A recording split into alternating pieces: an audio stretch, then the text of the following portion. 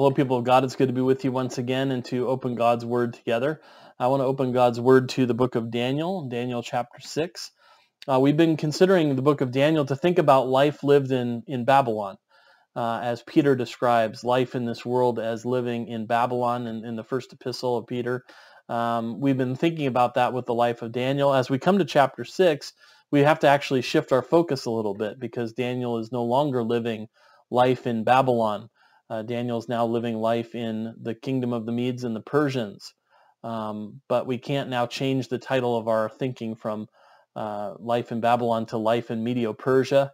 Uh, it just doesn't roll off the tongue quite as easily. And in any case, you, you can call the kingdom whatever you want, but as the Bible thinks about the kingdom of this world, it thinks of all the kingdoms of this world under that broader heading of Babylon. And so even though uh, the, the kingdoms have changed, um, you know, we, we might say with the Who, uh, meet the meet the new boss, meet the new boss, same as the old boss. Um, that, that really, even though the kingdoms of the world have changed, it still is true that God's people are living life in Babylon. And Daniel helps us to think very importantly about this. I'm going to read the first 18 verses. Once again, I'm going to stop short of the miracle that we all want to read about, uh, God delivering Daniel from the lion's den. But I want to think about the life of Daniel leading up to um, to those events and to think about what we what we learn from his life uh, from these passages. One of the really interesting things about uh, this passage is Daniel doesn't say anything until after he's delivered from the lion's den. And so what we learn about Daniel's life speaks volumes even though he says nothing um, in these first 18 verses. And so we want to look at his life and want to look at how his life can give us good instruction as people of God who are living um, in, in Babylon, uh, the example that we can follow from him um, and that we can learn from his life. And so I want to think about Daniel chapter 6. I want to think about the first 18 verses together, and let's pay careful attention for this is God's own word. It pleased Darius to set over the kingdom 120 satraps to be throughout the whole kingdom, and over them three presidents, of whom Daniel was one, to whom these satraps should give account, so that the king might suffer no loss. Then this Daniel became distinguished above all the other presidents and satraps because an excellent spirit was in him. And the king planned to set over the whole king set him over the whole kingdom. Then the presidents and the satraps sought to find a ground for complaint against Daniel with regard to the kingdom, but they could find no ground for complaint or fault, because he was faithful, and no error or fault was found in him. Then these men said, We shall not find any ground for complaint against this Daniel unless we find it in connection with the law of his God. Then these presidents and satraps came by agreement to the king and said to him, O King Darius, live forever. All the presidents of the kingdom, the prefects and the satraps, counselors and the governors are agreed that the king should establish an ordinance and enforce an injunction that whoever makes petition to any god or man for thirty days, except to you, O king, shall be cast into the den of lions. Now, O king, establish the injunction and sign the document so that it cannot be changed according to the law of the Medes and the Persians, which cannot be revoked. Therefore King Darius signed the document and injunction. When Daniel knew that the document had been signed, he went to his house where he had his windows in his upper chamber open toward Jerusalem. He got down on his knees three times a day and prayed and gave thanks before God as he had done previously. Then these men came by agreement and found Daniel making petition and plea before his God. Then they came near and said before the king concerning the injunction, O king, did you not sign an injunction that anyone who makes a petition to any god or man within thirty days except you, O king, shall be cast into the den of lions? The king answered and said, The thing stands fast according to the law of the Medes and Persians, which cannot be revoked. Then they answered and said before the king, Daniel, who is one of the exiles from Judah, pays no attention to you, O king, or to the injunction you have signed, but makes his petition three times a day. Then the king, when he heard these words, was much distressed, and set his mind to deliver Daniel. And he labored till the sun went down to rescue him. Then these men came by agreement to the king and said to the king, Know, O king, that it is a law of the Medes and Persians that no injunction or ordinance that the king establishes can be changed. Then the king commanded, and Daniel was brought and cast into the den of lions. The king declared to Daniel, May your God, whom you serve continually, deliver you. And a stone was brought and laid on the mouth of the den. And the king sealed it with his own signet and with the signet of his lords, that nothing may be changed concerning Daniel.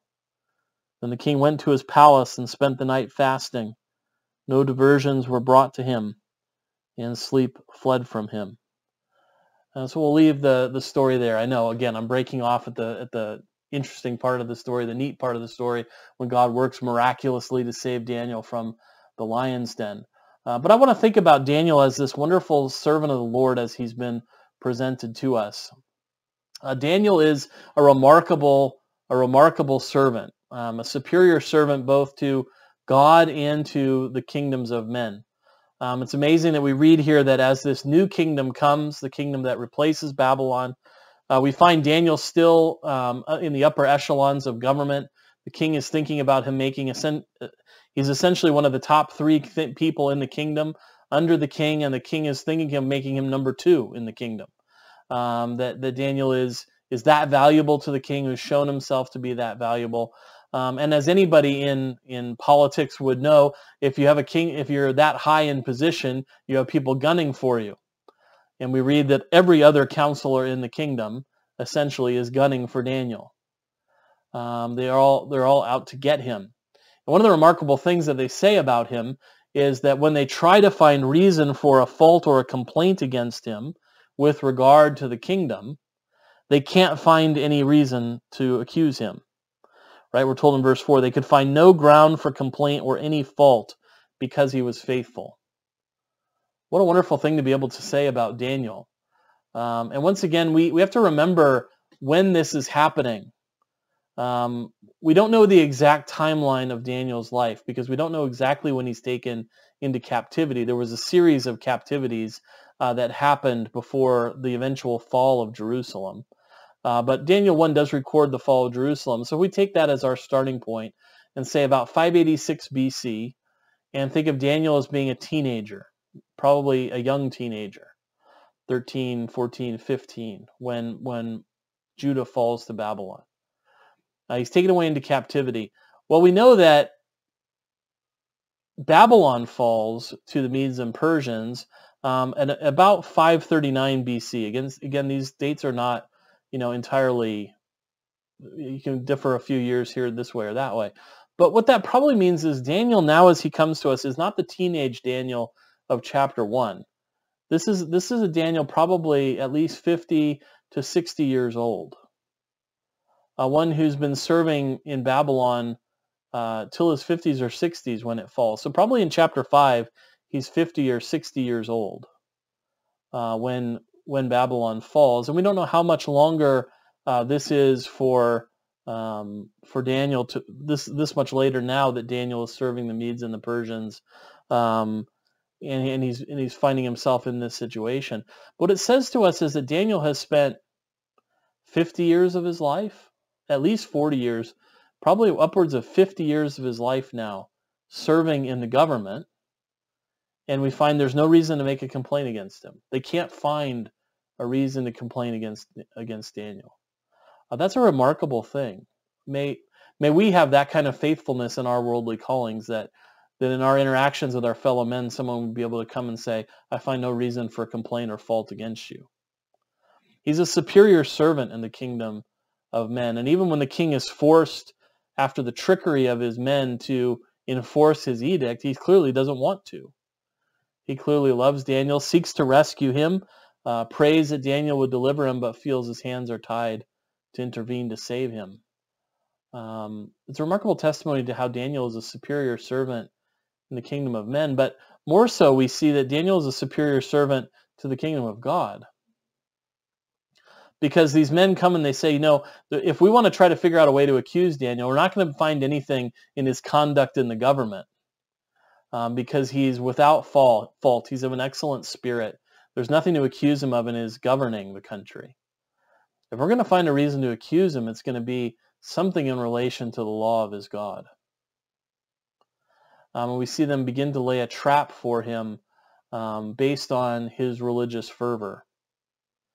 They know that Daniel is a praying man. And so they seek to attack him in the realm of prayer. Um, if we ever wanted to know what it looks like when the Bible says pray without ceasing, that's Daniel. Uh, three times a day, we're told, uh, his practice. He would go to his house where he had windows in his upper chamber open toward Jerusalem. And he got down on his knees three times a day and prayed and gave thanks before God. Um, and they find him one of these days making petition and plea before God um, and use it as an occasion to accuse him. Right? They, they know that he's a man who prays without ceasing. And so they make the king make a decree that anyone who prays for 30 days to anyone but the king will be thrown in the lion's den. And they know that that will trap Daniel because they know that he's a praying man. And they know that if they tell him not to pray, he's going to pray anyway. Um, when God says pray without ceasing and someone says you may not pray, it's clear that you have to obey God rather than men. Um, we can be thankful that we're not living in a time where the government is saying you may not go to church. They're saying you may not gather, um, but nobody is trying specifically to target our religion and keep us from practicing it. That's what these men are doing to Daniel. They're specifically targeting him. Right? Even when Nebuchadnezzar set up that great statue that he wanted everyone to bow down to, he wasn't targeting Shadrach, Meshach, and Abednego. These men are targeting Daniel. The kingdom might be different, but it's, it's still hostile to the kingdom of God. It still tries to attack that vital connection that the servant of God has to his, to his God. Um, the Daniel, Daniel gets down on his knees and he prays three times a day um, prays in the upper chamber. He's not praying it so that people will see what he's doing. But he does pray with his windows open to Jerusalem. Why? Why? Um, well, well, the answer is in what uh, King Solomon said in 1 Kings chapter 8.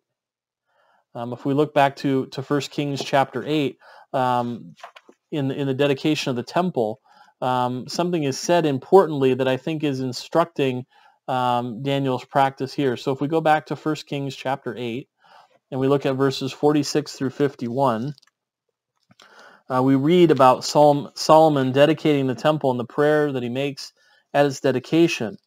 Um, and this is one of the things that, that Solomon says to God in his prayer about the people. He said, if they sin against you, for there is no one who does not sin, and you are angry with them and give them to an enemy, so they are carried away captive to the land of the enemy, far off or near. Yet if they turn their heart in the land to which they have been carried captive, and repent and plead with you in the land of their captors, saying, We have sinned and we have acted perversely and wickedly, if they repent with all their mind and with all their heart in the land of their enemies, whom you carried them captive, and pray to you toward their land, which you gave to their fathers, the city that you have chosen, and the house that I have built for your name, then hear in heaven your dwelling place, their prayer and their plea, and maintain their cause. And forgive your people who have sinned against you, and all their transgressions that they have committed against you, and grant them compassion in the sight of those who have carried them captive, that they may have compassion on them. For they are your people, and your heritage, which you brought out of Egypt from the midst of the iron furnace. Let your eyes be open to the plea of your servant and to the plea of your people Israel, giving ear to them whenever they call to you. For you separated them from among all the peoples of the earth to be your heritage, as you declared through Moses your servant, when you brought our fathers out of Egypt, O Lord God. Uh, Daniel is remembering that prayer of Solomon. And he's remembering it probably with sadness uh, the window is open towards Jerusalem, but he knows now that that temple that Solomon built is not standing there. It's been torn down. There no longer is a house where God has made his name to dwell there anymore. But there still is the city, the city that God chose. Um, even if there is no temple and there's no longer any king there, there still is that city that God chose, in ruins though it may be. And it's a reminder that God's people are a chosen people and his people are his chosen heritage and that God has promised to hear his people when they call. Hear his people when they confess. Hear his people when they petition, and when they plead for mercy. And here we find Daniel has been doing this three times a day on his knees for decades. Maybe, maybe 50 years. Three times a day he's been doing this, praying towards that chosen city, that place where God made his name to dwell, where God promised to hear from heaven when God's people called on his name. Um, and, and he's petitioning God to do what? To forgive them their sins, right? To confess. Why are they carried off? Why were they carried off captive? Because they'd sinned and acted perversely and wickedly. And Daniel was on his knees. That's a posture for, for prayers of confession. Uh, confessing sins, pleading with God to do what? To show mercy, uh, in, in, that, in that sure hope that God would hear in heaven their, pr- their prayer and their plea and maintain their cause and forgive their people. That's what Daniel's doing for years, three times a day. Um, and not just asking for forgiveness, not just asking for compassion, but giving thanks to God. Giving thanks to God. You know, Daniel's been doing this for 50 years a captive. We, we, we have 12 years a slave. Well, this is, this is 50 years a slave. 50 years a captive. And still he prays. He prays without ceasing. He prays earnestly. He prays for deliverance. He pray, pray, prays for forgiveness. He pray, prays for mercy. And he's thankful because he has a God in heaven who hears. And this is such a great lesson to us. That Daniel does the best thing he can do in the circumstances he's in, is pray to God. And I thought, you know, we've not been 50 years captives. We, we, we've felt like prisoners in our own homes maybe, but it's been, what, eight weeks? And we see the dedication that this servant of the Lord has for prayer, and it should be convicting to us. You know, as I as I read this and, and was meditating on it, I thought, you know, if I spent as much time praying as I did grousing about the coronavirus or frustrated with political responses to it or wondering what what else we might do in response to it thinking about all these different directions and thought you know how much time was wasted where i could have been praying about it or I could have been making that my reflex. And now we see why such an excellent spirit was in Daniel. He spent his time in prayer. Um, and it's something that we should take note of and that we should seek to emulate in our own lives. This made me think of a, a, pa- a book on pastoral ministry where pastors were, were saying, you know, nowadays pastors have so much better education than some of the previous generations had. We have so much more access to information. Um, we have you know great libraries at our fingertips. Even we can carry them around with us on our laptops. You know we have we have so much more access to things but this pastor and this was many years before internet and all those kinds of things but was saying you know in so many ways we have such so many advantages over previous generations clergy why does it seem that they were so much more effective than we were um, if, if we have so much more stuff today, why why did they, why do they seem to be so much more effective? And the answer the, the book gave was very interesting. He said, it's easy to see why. They were more men of prayer than we are. We might have all kinds of worldly advantages, but there was an unction to their ministry. That's a word we don't use much. There was an unction to their ministry. Why? Because they were men of prayer you know we're good about we're good at grousing to each other we're good at complaining on social media we're good about you know highlighting all the things that we're frustrated with with our officials with the situation and i wonder if we you know did a spreadsheet and said how much time did i spend praying about this how much time have i spent about venting about this you know under my own breath grumbling to myself to my friends to my neighbors on social media if we turned all that time and made it more productive how much more wonderful it would be what a great lesson we have here from this man of God, that he didn't tire of, of praying. 50 years he prayed. And when people wanted to try to trap him, they knew prayer was the way to trap him. Um, he was a praying man. That's why he was a powerful man in the service of God. And that would have been true whether he went in and died in the lion's den. Even though he didn't die, but went on to continue to live and to serve both God and men. Um, but this should be a great reminder to us. Daniel was a praying man. That's what we saw in our Lord Jesus Christ. He spent a lot of time in prayer, communing with his Father, and that helped to remind him that there was a kingdom above these kingdoms. There's a world beyond this world. Um, we can become so fixated with the coronavirus and when the regulations will be let up and when we can get back to normal and we can make this world ultimate. It's not. Um, there's another world that's our ultimate home, another kingdom to which we belong. And the more time we spend communing with that kingdom, communing with our Father in heaven through the King of that kingdom, who is our intercessor, the Lord Jesus Christ, the more our hearts and minds will be lifted up beyond this world, and the better fit, fitted will be for service in it. Daniel was not so spiritually minded he was of no earthly good. But he was of such earthly good specifically because he was so heavenly minded. Uh, might God give us that grace to be a praying people. Let's do that right now. Let's pray together. Father in heaven, forgive us for our lack of prayer. Forgive us for all the times that we've grumbled. We know how much you hate grumbling. Um, forgive us for when we didn't turn those grumbles into honest prayers before you. Forgive us for all that wasted time spent complaining to each other and to social media, to the world, um, in such ineffectual ways and how we've missed the wonderful effectiveness of prayer. Lord, may we be like Daniel, praying without ceasing, continually turning our minds and hearts towards the heavenly Jerusalem of which we are citizens, remembering our election, that we've been chosen by you as your people, as your heritage, that you've redeemed for your own.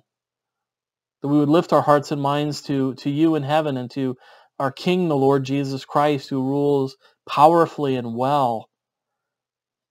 And may we be filled with our, our hearts and minds be filled with the hope of that kingdom. And might the hope of that kingdom be our help here below. For we do confess that there are many things that frustrate us in the world right now. We are frustrated about being separated from one another. We are frustrated that the doors of the churches are closed, that people are missing great events of life, that that weddings are being ruined, that graduations are being ruined, that uh, people who need to gather for funerals can't gather together as they want to, that people who are have sick loved ones can't visit them because of uh, the virus, and we can be filled with so much frustration, Lord. And might we first have our minds and hearts turned to the fact that this is what sin has brought on this world